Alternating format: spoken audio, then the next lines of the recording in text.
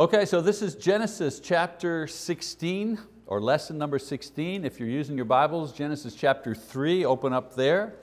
And as always, I'll put the scriptures on the board or on the uh, screen if you want to see those.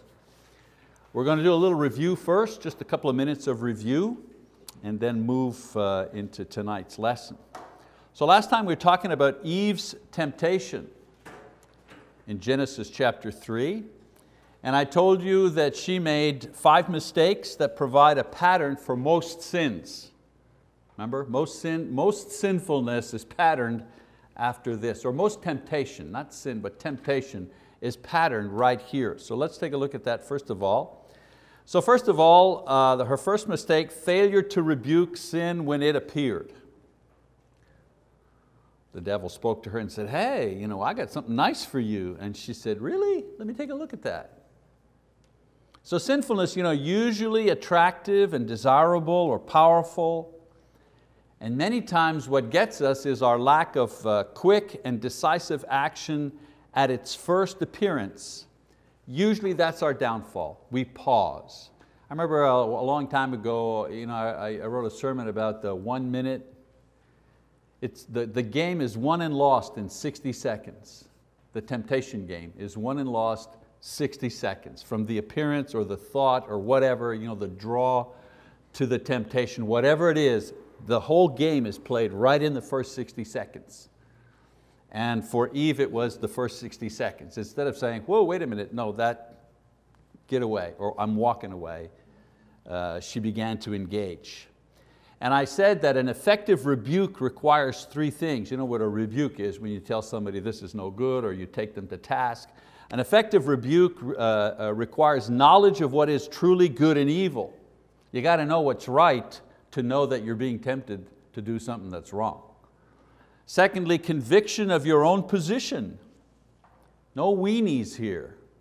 You know, this is wrong, it's always been wrong, I've been taught it's wrong, I've taught my children it's wrong, and now that I'm facing it, hey, I'm, I'm not going to go back on what I've always thought about it. And thirdly, immediate response. You got to call a spade a spade. This is wrong. Number two, compromising God's word. She compromised God's word. We went into it in depth last week, not going to do that this week. But when we want to sin and still remain Christians, we usually change what God's word actually says. We kind of fudge a little bit, you know? Uh, and I talked about you know, Christian homosexuals. You know, they have their own theologians and commentaries and so on and so forth to defend their lifestyle. Okay? Uh, so if we want to continue our bad habits, you know, a lot of times we just block out the parts in the Bible that deal with our bad habits. That's all there is to it. Or we, we categorize, well, that's, that's a small thing, that's a little thing. You know. A lot of times we, we confuse grace, for example. We think grace means that God has tolerance for our, our, our small bad habits. I'm under grace. You know, God doesn't care if I then fill in the blank. You know, I swear, I don't know, I'm picking something out of the air. You know. I use bad language, let's just say. Well, that's not murder, it's not adultery, you know, it's, not, it's, a, it's a thing. You know, with me, when I get mad, I use bad language. It's what I do. You know. Aren't we under grace? Well, we are under grace, but we understand that grace is not a license to indulge in our bad habits. Uh, the idea of grace is that we're, we're still saved while we're dealing with our bad habits. That's a, that's a better, that's a better uh, look at it. Uh, number three, uh, playing, you know, considering the pleasure of sin. Remember she said we look, we talked about shopping last week. You know, if you don't want to buy, don't look. Because if you look, you'll want, and if you want, you'll buy. When I say to my wife, I think I'm going to go to Kohl's. you know, she knows that's the end. You know. She, I have my own credit card. You know, it's the only credit card that really is mine. You know what I'm saying? She doesn't have one. I have the Kohl's card. You know, it's for me. And my daughter-in-law, she knows, you know, for my birthday, she gave me a gift certificate you know, for, for Kohl's. So what's, what's the temptation there? Well, the temptation is to stay on the gift certificate right? Because now I have the excuse to go. I got a gift certificate. I can't just leave that thing laying around. I got to go. I got to go look. So, but well, you understand what I'm saying, right? Don't go for a test drive if you're not going to buy the car because you're going to desire it if you try it. So in a more serious vein, don't play with sin. Don't play close to the edge because pretty soon you'll be acting out. Pretty soon you'll fall over the edge. Some people, you know, they kind of live right on the edge for everything, you know, not quite crossing the line, but they're right there. And, and you, you wonder, you know. Number four, uh, the consent to it. If we don't initially refuse to sin, eventually we'll just give in to it. You know, there's only two ways to go. You do or you don't. And if you don't, then say no because with time you'll eventually say yes. So the trick is to decide ahead of time that you'll say no, then when you're faced with temptation, you won't weaken yourself by considering the pros and cons. You'll just say no. And again, I, I, I mentioned again, we talked about, you know, when I teach a, a, you know, a teen class or something, young people, I tell them, hey, make up your mind way ahead of time what your answer is going to be so you'll know immediately what to say and what to do in a, you know, in a, in a situation because uh, especially young people, more vulnerable emotionally, less experienced, so on and so forth, in their mind they may have made up their minds, oh yeah, I would never do that, but sometimes when they're right in the action, their emotions overwhelm their, their thinking. So it's very important that their thinking is, you know, is, made, uh, is made up on the issue. And then number five, uh, let's start a club. You know, it's no fun to sin alone, and so the next step is always to find a, symp a sympathetic partner who's going to let you sin in peace or will join you in that sin. You know, as I said, Romans 1.32 mentions that phenomena. You know, those who sin even encourage others to do the same thing. That's how bold they become. All right, so sin is the original problem and the method has always and will always be the same. Always the same. That's why I've kind of reviewed this. It's always the same. You have in Genesis 3 the pattern for temptation. It's always the same. No matter what country you're in, what time you live in, you know, we're, we're thousands of years later after this was written and it works exactly the same way in our lives. Amazing. Now, as I said, since the original problem always will be always will be the same, but one other thing we learn from this sequence is that sin also always has a consequence. And that's what we're going to look at tonight, the consequence in chapter three. Now I would normally say that the next section is entitled The Consequence of Adam's Sin, but there is not enough paper to list the individual consequences that resulted from that sin. I mean, we don't have enough time, there's not enough time in, you know, to, to list all the things that, that went bad after that sin. Suffice to say that the two major consequences were that paradise, that sinless place of joy, was lost, and the world, the physical universe, was also lost at that point. At that point, the downward cycle began imperceptible at first. You, you couldn't hardly see it at first, but slowly but surely. You know, we talk about evolution, you know, things start from simple and they get complex. Well, the reality is devolution began at that point. Things were perfect, perfectly balanced, perfect harmony. And after sin, you know, the bolts, the wheels started to come off. And the wheels are still coming off the wheels are still coming off in this day and age.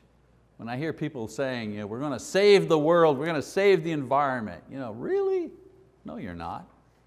Thing is way too far gone to save. Manage, yes. Mitigate, yes. Save, no. Not going to happen. So Genesis records in sequence the consequences and the events that took place after this disobedience. So the first thing that took place, shame shame. Chapter 3, verse 7a, eh? then the eyes of both of them were opened and they knew that they were naked. They knew from experience, you know, in other words, they tasted the fruit of the knowledge of good and evil. They had experienced good and now they were going to experience evil. That was the thing. They thought the knowledge of good and evil was this other thing over there that would give them wisdom. They'd be like God. Okay? But the, but the lie was, you know, the trick was, they already had the good. they had the good. And once they disobeyed, they were going to know the evil. And that's what started, the evil started. So their experience was shame, shame that comes from knowingly disobeying God.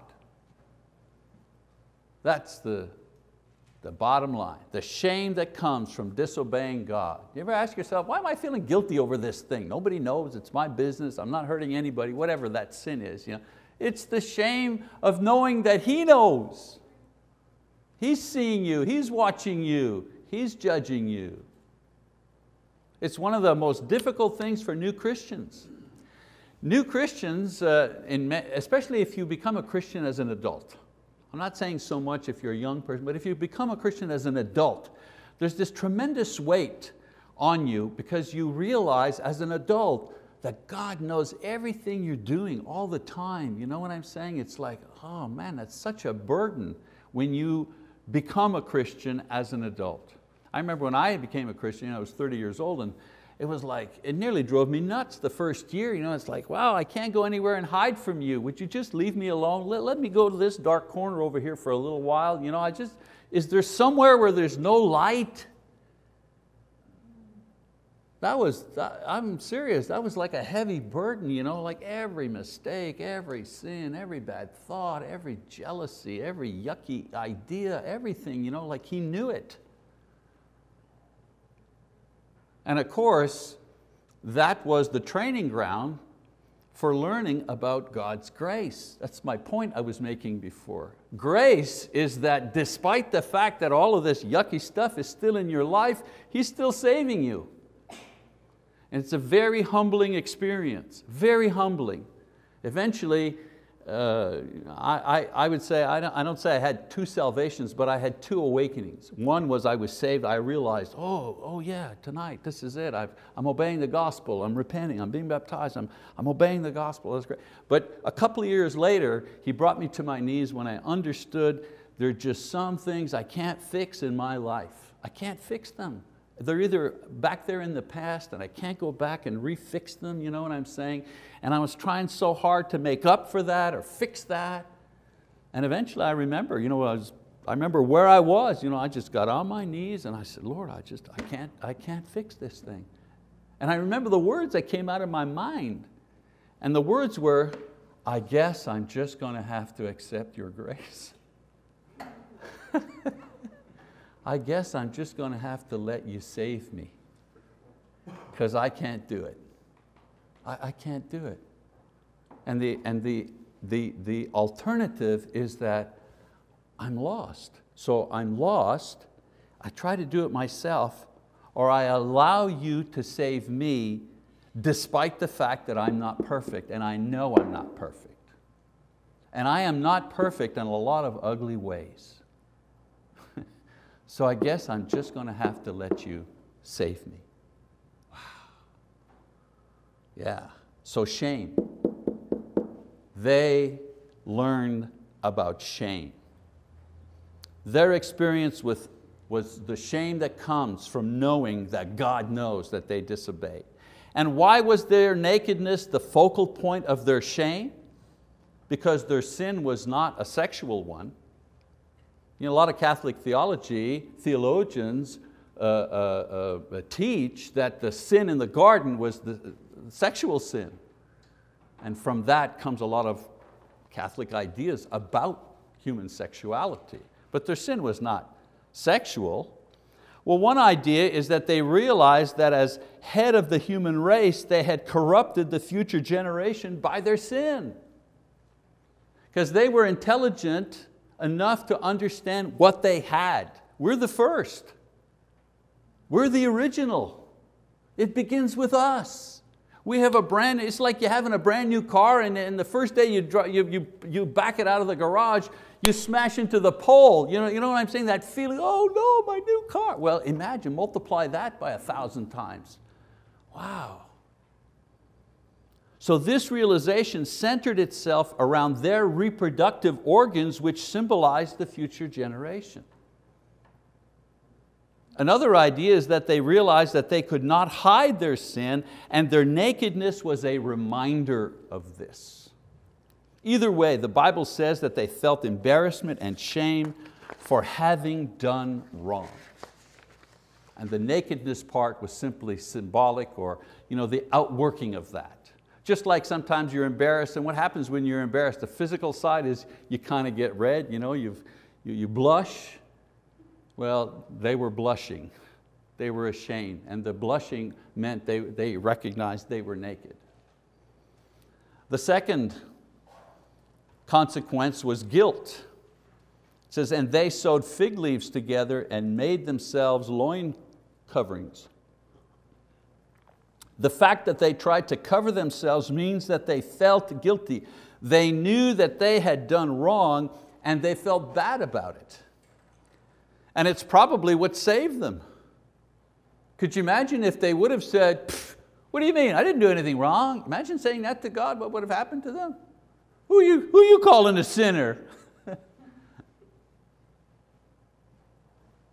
Had they been proud like Satan and remorseless, and, uh, uh, remorseless rather, and haughty, God would have destroyed them there and then. Would have been the end. Note that they tried to cover themselves and this always is inadequate. You know when you try to cover yourself? They covered themselves but they were still afraid. When God covers you, you don't have to be afraid anymore. Okay God, I'll let you save me. And it didn't happen in 24 hours. You know? It took months and years to get to the point where you know, I'm letting you save me even though I realize how yucky I really am. And you know what, maybe you can get something out of me. Maybe I can do something, you know, I can, I can offer something. I know it won't be perfect and it'll always be spoiled by human imperfection and so on and so forth, but maybe I can offer something that'll be good. Thirdly, they experienced fear the consequence of sin. They heard the sound of the Lord God walking in the garden in the cool of the day, and the man and his wife hid themselves from the presence of the Lord God among the trees of the garden.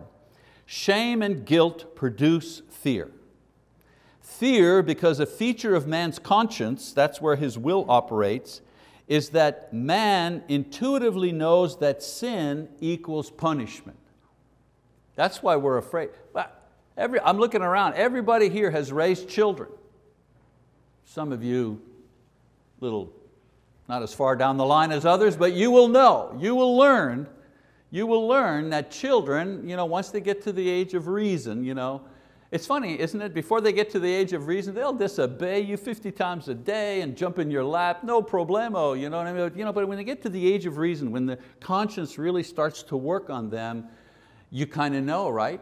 You walk in and you go, uh, so-and-so, Susie, whatever, you know, you say, Susie, is everything okay? Because you can tell on their face, right? You can tell on their face that something is wrong. They're afraid.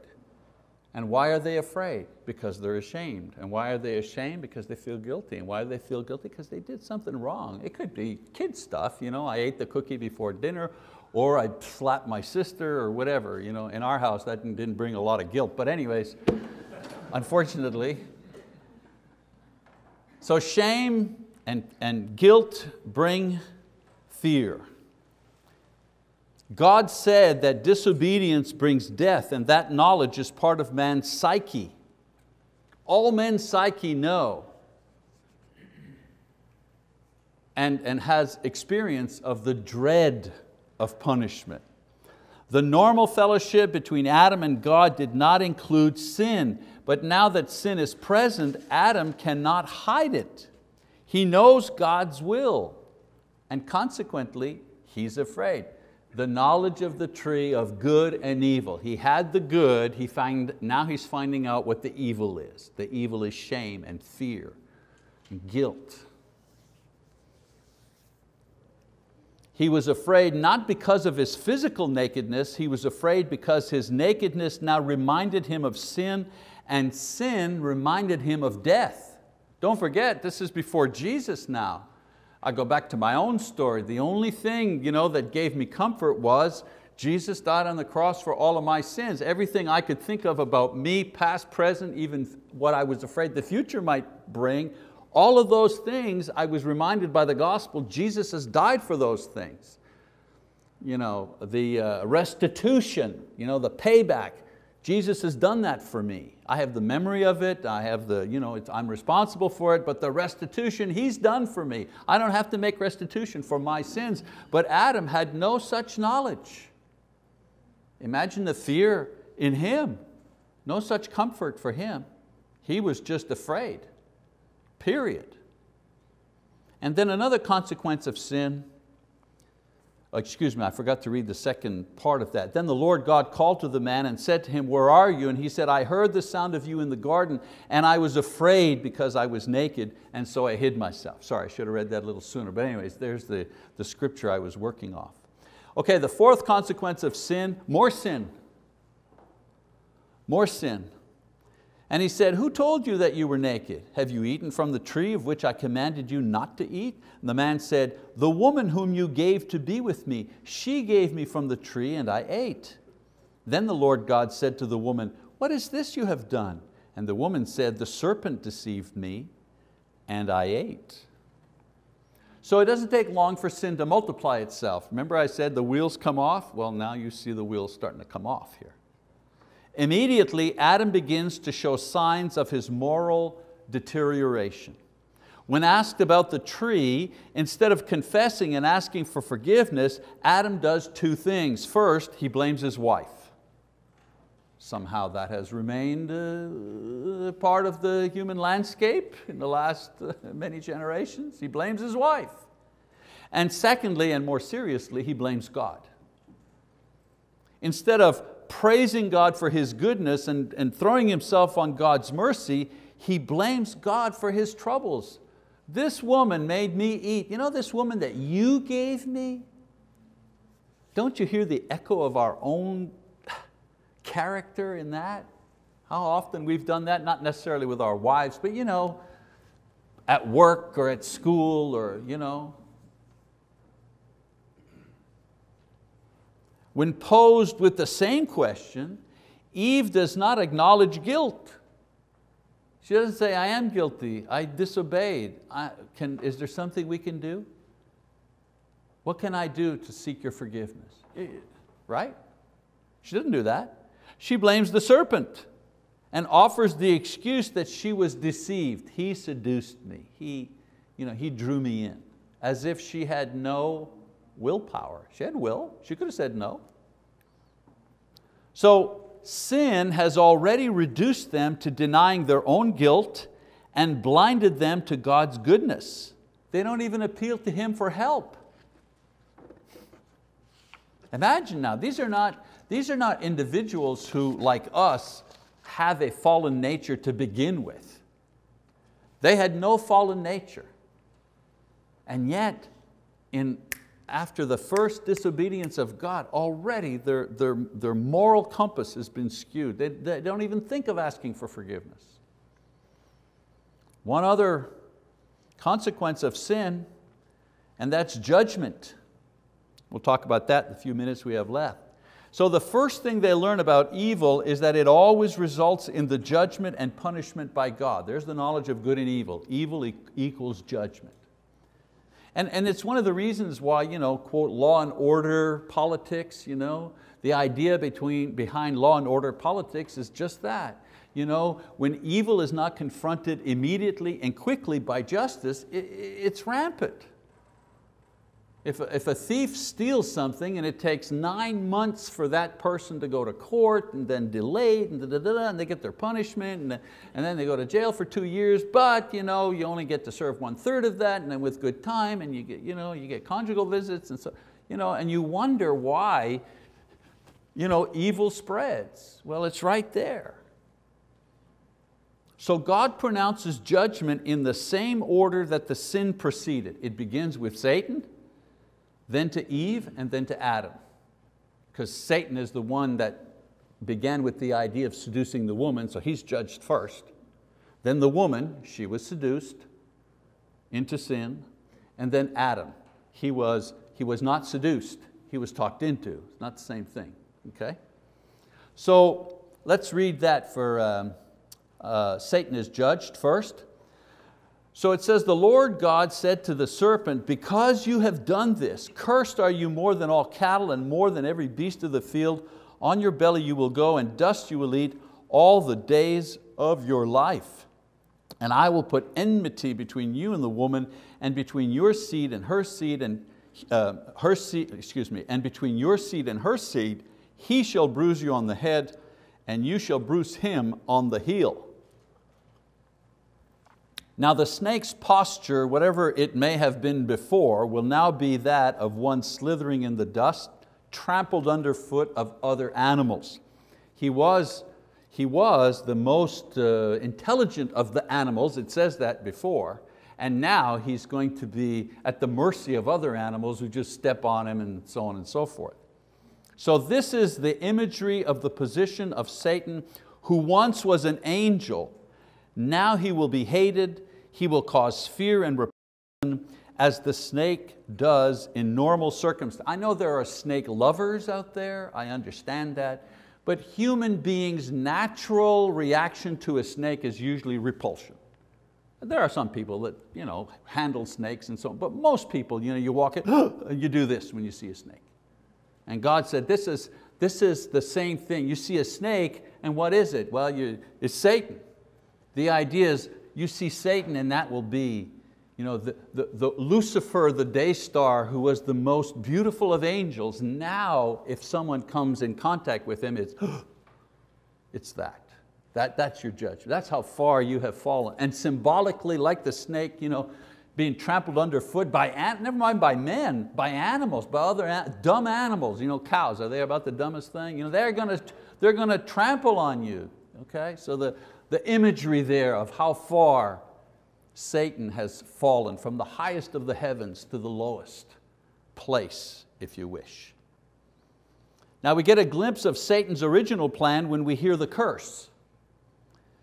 There is special emphasis on Satan's inability from here forward to dominate woman and the offspring that she will bear, which is probably the reason why he attacked her to dominate her and control her, ch her children for his own purposes. Remember that battle that's going on with Satan.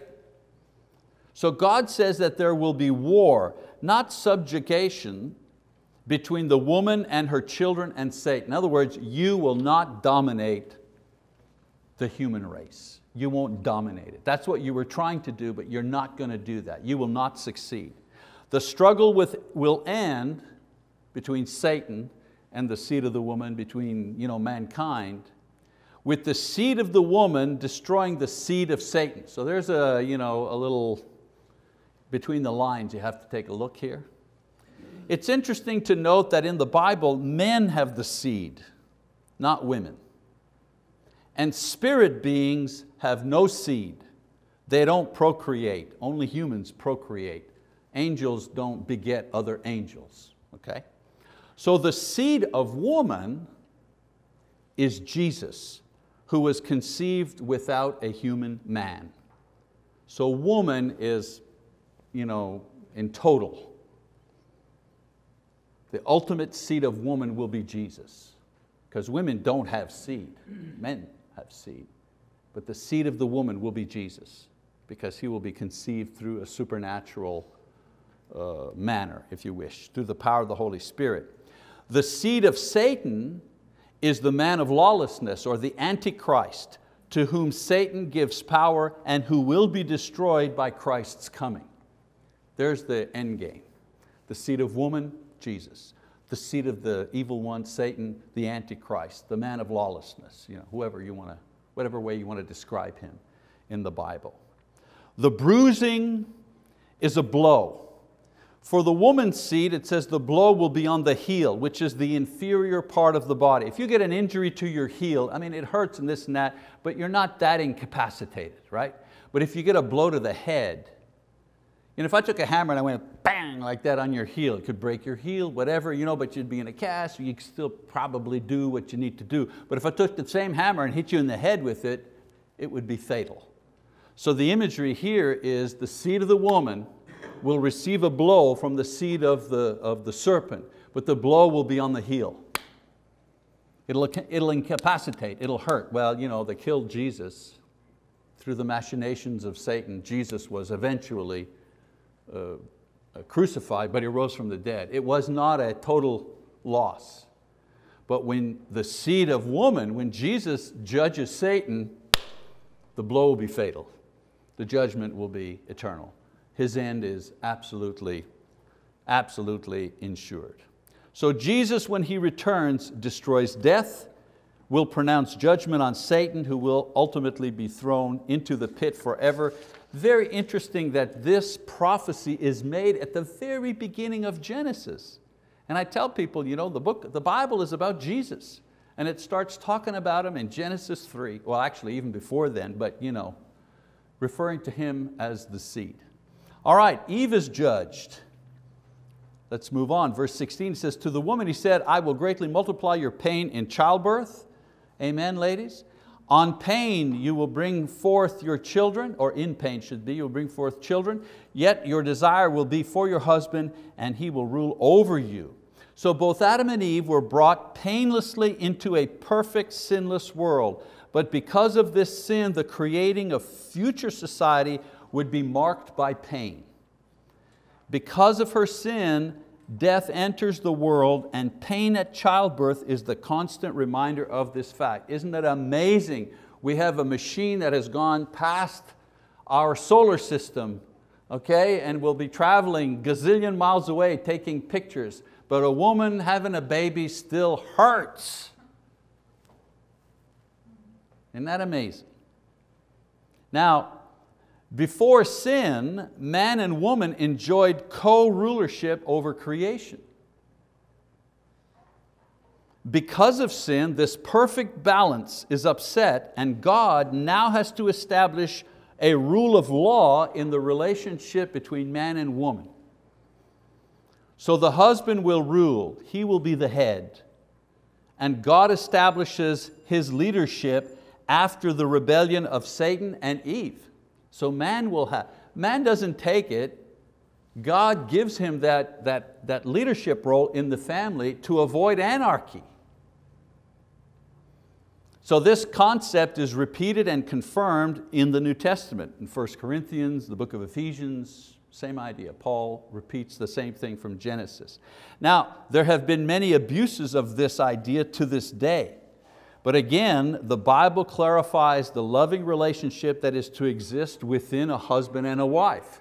You know, the, wife, the man is to love his wife as Christ loved the church, meaning he is ready to die for his wife. He is in service to her and so on and so, uh, and so, on and so forth. And she offers her submission to him in her love for Christ as a demonstration of her faith. You know? And I've always said, if a Christian man deals in a Christian way with his wife, she will have absolutely no problem in being in submission to him. It'll be a joy to be in submission to him. There'll be balance in the family when it comes to that idea. One kind of little note here, the women's movement, especially the very uh, aggressive women's movement, is actually the human solution for this problem this imbalance between man and woman. That the, the, the, it's a humanistic way to solve the imbalance between man and woman, and it usually leads to other problems, other imbalances. There's also mercy in God's judgment over Eve. He says, she will not desire the serpent and his promises, but rather will return her focus to her husband. Because her love was pulled away from Adam and went to the, to the serpent to the, the desire to be greater and so on and so forth. And so God says, I'm going to break that hole that He has over you and permit you to give that love to your husband once again. So she would not be enthralled, in possession by Satan, but rather go back to having a relationship with her husband. And also that pain of childbirth will not overcome her love of her husband and her love for her family. Otherwise, every child would be an only child, right? Hey, let's have this, let's have this baby business, let's try that. And then after the first baby, the girl says, okay, no more of that, that hurts too much. Isn't that one of the great mysteries of life, you know, that women continue to have more than one child, you know, out of the love for their husband, love for children, love for family, willing to go through that kind of pain. And, and, and it's dangerous, even, even to this day. Childbearing is still uh, very, very dangerous. So what God does here is He puts a limit to her suffering. She's the one that's been given the privilege of, you know, God created Adam first, but then every other man comes from a woman. So there's balance there in privilege. She has the privilege of bringing children into the world, but God has mercy on her uh, for this task uh, and says that her suffering will be limited and she will still be able to have love and compassion for her children and her husband despite the sin that she's uh, been involved in. All right, so next week we're going to look at man's judgment. I didn't want to rush through everything, so we'll do man's judgment. Satan, Eve, man next week. We keep moving.